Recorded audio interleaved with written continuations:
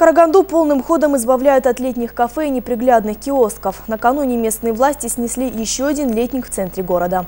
Таким образом, чиновники обещают полностью преобразить облик угольной столицы.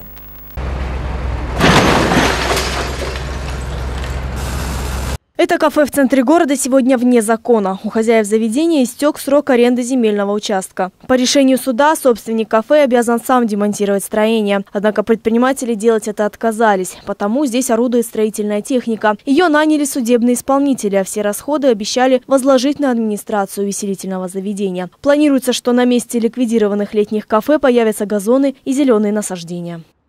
По всем объектам сейчас ведется работа, активная работа. То есть в ближайшее время, я повторяюсь, мы освободим все незаконно занятые земельные участки и незаконно функционирующие летние кафе. Разрешение когда-то предоставлялось, но в настоящее время срок землепользования истек. То есть архитектурная ситуация города с каждым годом меняется, вносятся новые изменения в законодательство, в связи с чем предоставление на новый срок отказывается.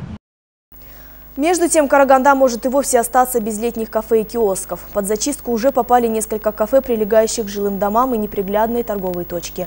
Станет ли город красивее, покажет время. Нужны или нет летние кафе и киоски Караганде? Сегодня с таким вопросом вышли в народ корреспонденты Первого Карагандинского. Киоски нет, зачем? Потому что киоски, ну, газеты, там журналы, люди покупают, это надо. Это пресса, в принципе. Я считаю, что летние кафе не надо убирать. Потому что? Потому что надо где-то отдохнуть после трудового дня. Тоже можно, чтобы брали киоски. Почему? Ну, мне кажется, что они как бы портят внешний вид все равно в центре.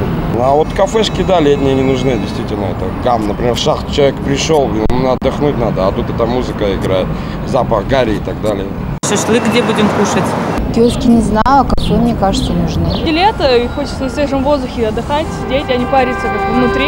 Даже если будет решена проблема с кондиционерами, думаю, летнее кафе все-таки лучше оставить. В любой стране, в любом городе летнее кафе оно должно быть, но без спиртного. Ну, мне кажется, что нужны. Почему? Потому что молодежи где-то надо все это делать.